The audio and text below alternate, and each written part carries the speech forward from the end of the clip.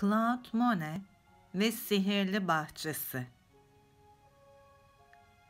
Keşke bir bahçemiz olsaydı, dedi Julie. Şehrin içinden geçen gri nehre bakıyordu. Evin köpeği Louis bile içeride durmaktan sıkılmıştı. Bu resmi bitirir bitirmez seni dünyanın en güzel bahçesine götüreceğim. Arkadaşım ressam Claude Monet'e ait, dedi Julie'nin annesi. Nehri takip ederek şehrin dışına giden büyük kara trene bindiler, kırlara vardılar. Louis, Monet'in bahçesine çevreleyen büyük duvara doğru koştu. Dur Louis, dedi Julie ama çok geç kalmıştı. Louis bir delikten geçip gözden kaybolmuştu bile. Julie ne yapacağını bilemiyordu. Dizlerinin üzerine eğildi ve o da delikten içeriye girdi. Rengarenk, büyük çiçeklerin olduğu masalsı bir dünyada gibiydi. Julie köşeden koşarak dönerken elinde büyük bir kürek tutan yaşlı adama neredeyse çarpacaktı. Adamın hasırdan şapkası ve beyaz uzun bir sakalı vardı. Merhaba ben köpeğimi arıyorum. Siz bahçıvan mısınız? dedi Julie. Sanırım öyleyim. Bahçemi gezmek ister misin? dedi adam. Bir gün bu küçücük tohumlar büyük çiçekler olacak. Bir bahçıvan her zaman sabırlı olmalıdır. Tıpkı bir ressam gibi. Julie, siz Claude Monet'siniz dedi. Birlikte Louis'i aramaya başladılar. Gölgeli yolun kenarından yürüyerek sihirli bahçenin derinlerine gittiler. Gerçek dünya arkalarında kalmış gibiydi. Julie Monet'in bir salkım söğüt altında büyük beyaz bir mantar gibi duran şemsiyesini gördü. Louis de oradaydı. Burnu mavi, kulağı mor, patisi de yeşil olmuştu. Yaramaz köpek diye bağırdı Julie. Bay Monet'in resimlerinin üzerinde yürümüşsün. Sanırım köpeğin ressam olmak istiyor. Bak o da bir resim yapmış diye güldü Monet.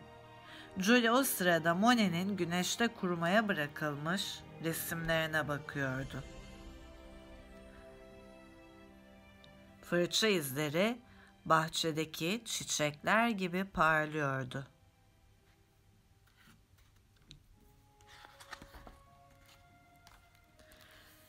Gıcırdayan bir kapıyı açtılar ve içeri girdiler. Bahçe içinde başka bir bahçeyle karşılaştılar. Söğüt ağaçlarının yapraklarının suya değdiği ve renklerin birbirinin içine geçtiği gizemli bir su bahçesi.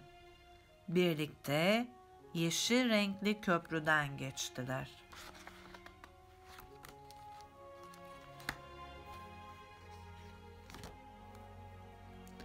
Gölün üzerinde sandalla giderken sanki Monet'in resimlerinin içinde geziyor gibiydiler.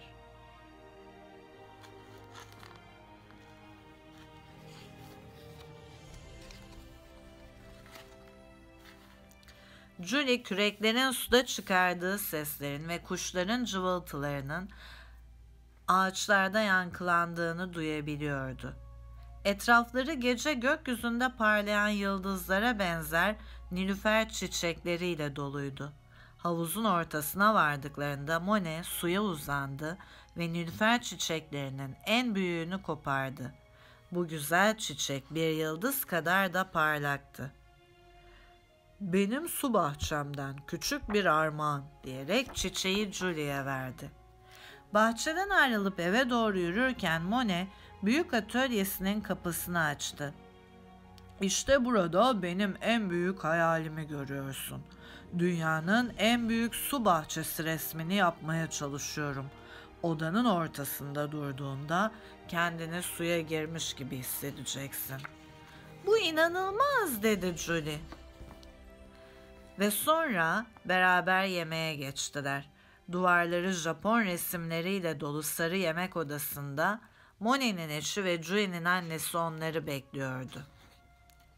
Artık gitme zamanı gelmişti. Monet onları nehrin kenarına kadar yürüdü.